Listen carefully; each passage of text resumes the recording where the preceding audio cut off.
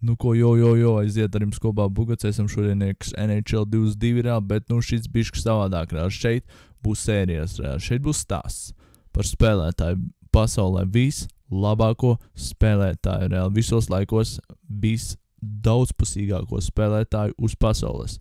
Lil slapais. Let's go reāli. Nu ko, es ceru, ka jūs sekosiet reāli šīm sērijām, ja, jo būs epika reāli. Būs ok, ja, būs ok. Nu ko, lai veids rāda, nu ko, pirmizrāde var sākties pirmā sērijā. Tas tā kā intro, nu ko, malačīs, skatāmies. Jo vecīt reāli, nu ko, karč lieta tāda reāli, ka mums vajag reāli iekšā NHL jaunas spēlētājs. Un, un, un tā kā tu esi labākais NHL reāli, tas tur atradējis reāli, tas jauno spēlētāju atradējis, varbūt tu vari sadzīvēt reāli vienu jaunu spēlētāju reāli, mums trūkst reāli, nu, pie galīgi piedarks reāli, nav reāli, džeks, nu, džek reāli, džek, džek paliek, paliek vecs reāli, šit, šitos vajag, šitos vajag mainīt ātrāk nostrāli, mums vajag vienu jaunu reāli čuvāk reāli, jā, jā.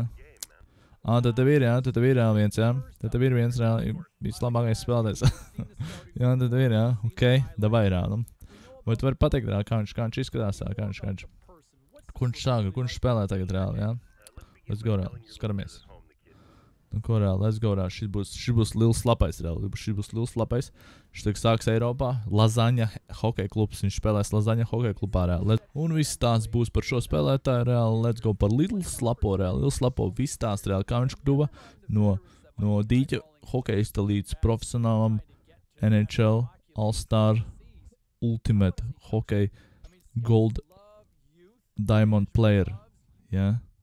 let's go, reāli, Lidl slapais viens no episkākajiem pasaules hokeistiem pasaulē. Let's go, spiežam like, subscribe un šērojam. Malači!